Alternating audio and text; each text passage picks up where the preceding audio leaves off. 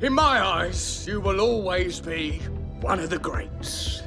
Minions The Rise of Gru was released a couple of weeks ago and it's already proven to be a major success. This shouldn't surprise you all too much because we've been waiting for about five years since it was announced back in 2017. It's the fifth movie in the franchise and has already pulled in more than half of a billion dollars at the box office. Considering the fact that it's only been in theaters for a few weeks, that's pretty impressive. However, if you've seen the movie, then you probably already know that there is some short after credit scenes, and if you were in a hurry to leave the cinema after the credits started rolling, then I'm sorry to tell you this, but you missed a great scene. For those who didn't watch it, I'm pretty sure that you caught everything that there is to catch in the scene. After all, it's only a few minutes long, but you're wrong because there are some secrets that are hidden in it. Don't believe me? Well, I'm about to tell you all the hidden secrets. So, come along.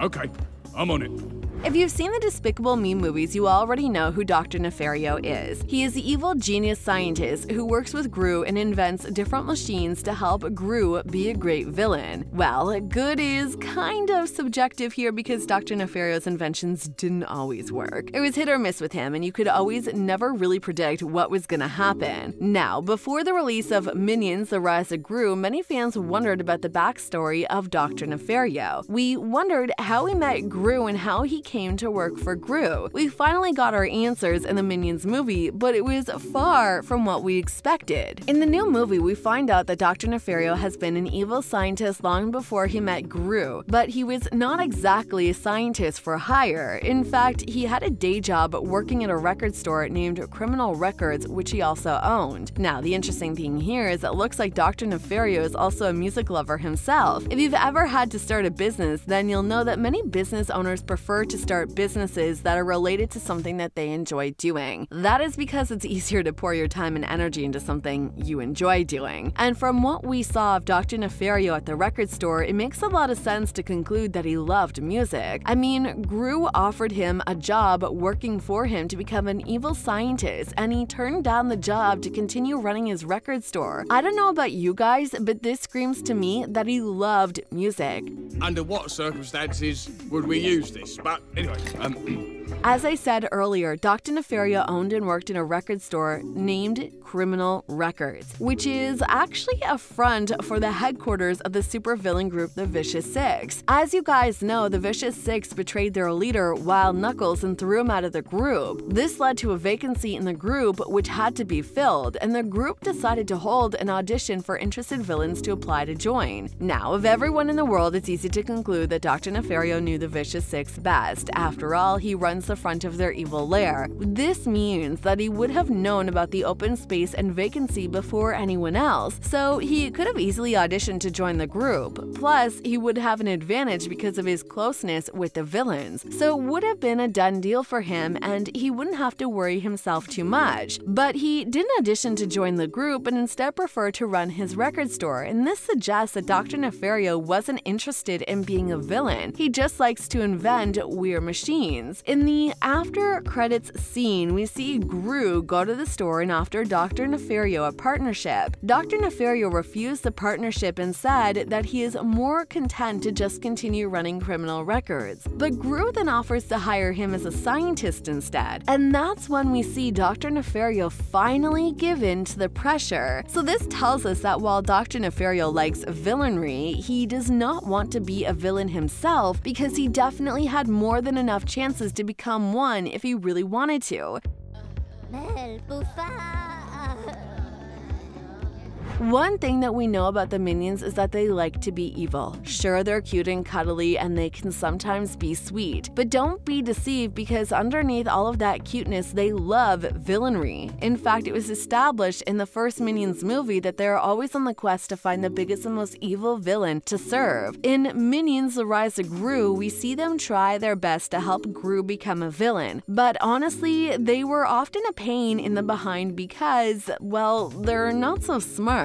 I love the Minions, but I think we can all agree that intelligence is not exactly their strong suit. But what they lack in intelligence, they make up in another way, and that's manipulation. I know that when you think of the Minions, manipulation is not the first word that jumps to mind, but they are clearly super manipulative. We see this for the first time when they conceive Master Chow to teach him Kung Fu. But their manipulative skills really came into play when Gru was trying to convince Dr. Nefario to come and work for him. When Nefario refused, the minions did this puppy dog eyes thing that made it impossible for Nefario to say no. So this means that the minions know their charm and they're also manipulative enough to know when to turn the charm on to get what they want. Okay, fine, fine because you had a nightmare, but just tonight. When they first met Dr. Nefario and Minions The Rise of Gru, he was kind to Gru and even gave him a sticky gun thing that Gru then uses to steal the Zodiac Stone from the Vicious Six. Dr. Nefario was not obligated to help Gru in any way, but he did so. And this showed us that he did care for Gru in his own way, but it was in the after credits scene that we really got to see how much Dr. Nefario cared about Gru. As I said earlier, earlier, he got an offer from Gru to come and work for him as a mad scientist, and he accepts the offer after a few seconds of manipulative begging from the minions. But when he accepted the offer, there is something that I don't think many people understood, and that's the fact that he was basically agreeing to work for free. Now, I know this is not discussed in the scene, but I think that it is one of those things that goes without saying. I mean, he was accepting to work for Gru, who was only a 12 year old child. I don't know about you guys, but I'm not sure that I know any 12 year olds who can afford to pay an evil scientist to work for them. Gru was still an upcoming villain, so there's no way that he had gathered enough money to afford Dr. Nefario. This means that Nefario was pretty much working for free. But hey, as they say, if you do what you love, then you'll never feel like work, so I guess this is the case with Dr. Nefario. Plus, he probably never shut down criminal records, so he could be making some money from that.